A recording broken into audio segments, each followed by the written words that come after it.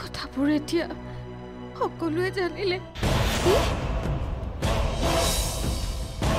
তুমি জানো তেওঁক এতিয়ালৈকে লগ পাইছা?